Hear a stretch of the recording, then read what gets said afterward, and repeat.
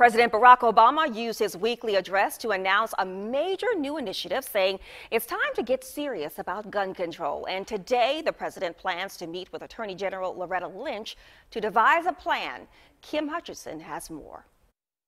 Deadly mass shootings seem to be a regular occurrence in America, and President Obama has regularly called for tougher restrictions on guns. Once again, innocent people were killed in part because someone who wanted to inflict harm had no trouble getting their hands on a gun. Now, the president says he isn't waiting any longer. My New Year's resolution is to move forward on our unfinished business as much as I can. That's especially true for one piece of unfinished business our epidemic of gun violence. He'll be meeting with Attorney General Loretta Lynch Monday to discuss options for tightening gun laws. Sources say the president is expected to take executive action without congressional approval, expanding background checks, a move which has widespread public support. But some Republican presidential candidates are already promising to reverse any action Obama takes if they win the presidency. So he's going to sign another executive order having to do with the Second Amendment, having to do with guns.